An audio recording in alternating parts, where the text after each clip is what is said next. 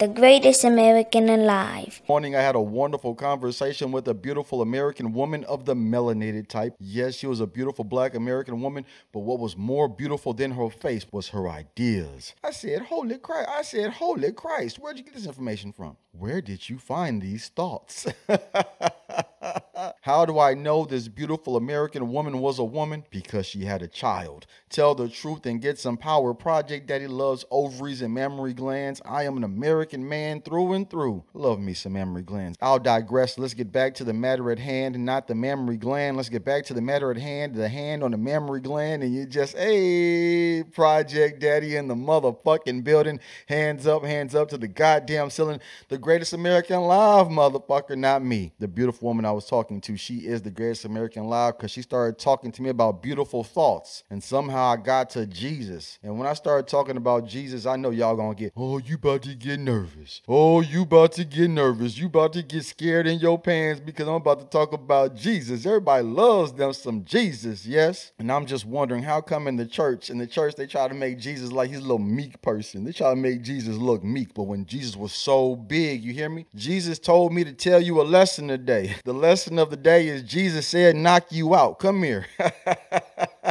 Come here. Jesus Christ was one of the most important people to ever exist in the history of the world. Even if you don't believe in the Bible, the story of Jesus is the most important story in the history of the world. Why is this? It is said that Jesus was talking to a crowd of 5,000 people. Can you imagine 5,000 people with no megaphone, nothing like that, just a big boisterous voice. Yes, I'm chopping up these stories. I'm chopping these stories up. Jesus Christ was one of the, one of the biggest, baddest dudes that ever existed in the history of the world. How is this? It is said when Jesus picked his 12 disciples, he went to some guys and they was fishing. But when they was fishing, they ain't no throwing no fishing line out there. Hell no, they ain't doing no reeling it in. So they throw the nets. And as they cast the nets, they got to bring these badass nets back in by hand. Just forearms, fist over fist fist over fist. These are big strapping dudes who can pull nets of fish out of the sea. Amongst these big strapping men, Jesus Christ said, Hey, you man, come here. Stop what you doing, because I'm about to ruin. Jesus Christ was busting freestyles back in the day. He said, Hey, you come here. Drop your career and come and follow me. Jesus Christ was one of the most powerful men that ever existed in the history of the world. He was a rock star. He was Michael Jackson before Michael Jackson was moonwalking. This nigga was walking on water. Jesus Christ was moonwalking on water water. Tell the truth and get some power. Jesus Christ is the most important story in the history of the world. How is this?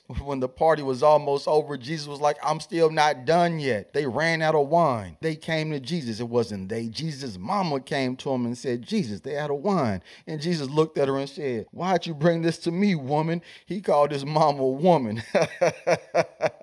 and she said, I, I don't want to hear that right now, Jesus. Just take care of it. Jesus made the most bestest wine. It was better than the wine was already serving. So the host of the party came to Jesus and said, Why did you save the best wine for last? We were sipping on some bullshit and you came through with the real shit. Jesus Christ was the real shit, the real deal. Holyfield knocking niggas out. The lesson of the day is Jesus said to knock you out with the truth. You hear me? It's time for Americans to be heroes. What would Jesus do? He would be the biggest, baddest, most boisterous person that ever existed. He said, Come here. We have to do this work. You, the greatest American life, you have to understand that Jesus Christ said to knock them out. Knock out who? Every opponent against freedom. We have to beat every opponent against freedom. How the fuck do we get free? Tell the truth and get some absolute power, huh? I own myself in the physical form, the digital form, and the spiritual form. I own all of me into perpetuity. And if you want to profit off of me, man, then we're going to negotiate. We're going to negotiate Google. We're going to negotiate Facebook. I'm going to negotiate my data as you sell me across the motherfucking world. To be powerful in America, you have to be honest. Tell the truth about your economic situation. Tell the truth about your mental situation. I know you fucked up. Being poor in America is synonymous with mental illness, huh? You trying to figure out how to eat. You trying to figure out how you gonna get to work. Gas prices goddamn six dollars a motherfucking gallon. Ah!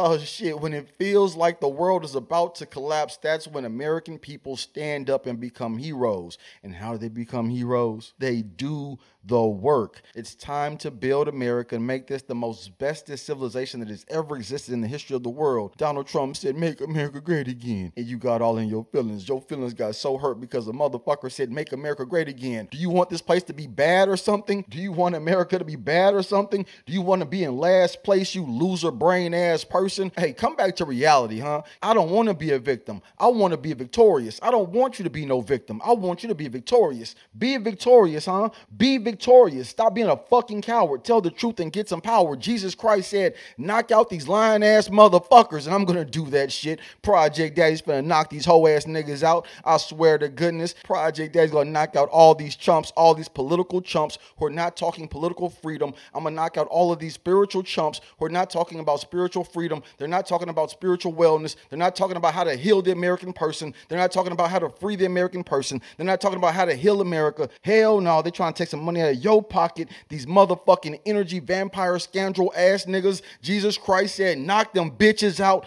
and I will.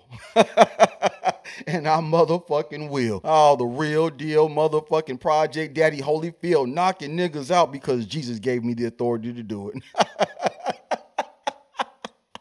You punk motherfuckers, come here. The greatest American alive, motherfucker. Yes, you are the greatest American alive. Tell the truth and get some power. Subscribe to this channel. Show everybody this shit because motherfucking the algorithm ain't gonna move it. Huh? The algorithm ain't gonna move it, but my faith will move it. I believe. I'm trying to tell you I believe. Holy, I believe. The greatest American alive, baby. You are the greatest American alive. The greatest American alive.